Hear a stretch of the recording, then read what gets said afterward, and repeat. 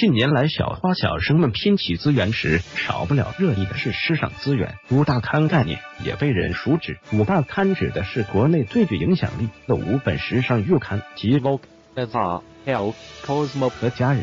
能登上这五本时尚杂志的封面，无疑是时尚界对明星的品味。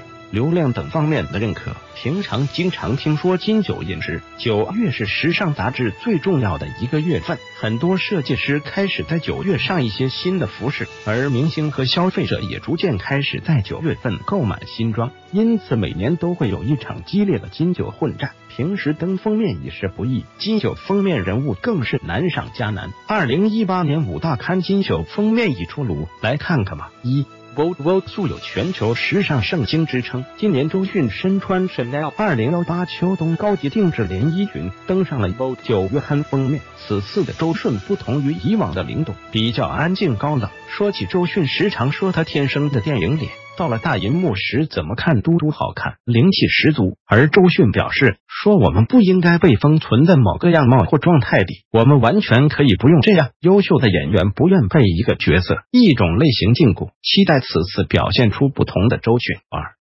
李冰冰搭档巨齿鲨男主杰森斯坦森为时尚芭莎拍摄了金九封面，二人在实景还原的船舱中，李冰冰一身极具科幻感的性感装束。展现曼妙好身材，主杰森斯坦森的西装革履，二人毫无违和，CP 感十足。硬照流出后，网友纷纷感叹：不愧是大花，表现力就是与众不同。李冰冰是名副其实的活体硬照教科书。三 L 超模孙菲菲身穿纪梵希登上了 L 中国版的九月刊，此次是多年后孙菲菲与 L 的再度合作。孙菲菲二零零八年。在模特界崭露头角，至今已是中国国际成绩最好的超模之一。四。Cosmo 时尚。Cosmo 选择了国民 CP 赵薇和苏有朋，送来了一波回忆杀。小燕子和五阿哥 CP 多年来一直是无数人心目中的经典，今年二人在中餐厅中的合作也勾起了不少人的回忆。当年小燕子拿锄头误伤了五阿哥的脚，如今赵薇关车门。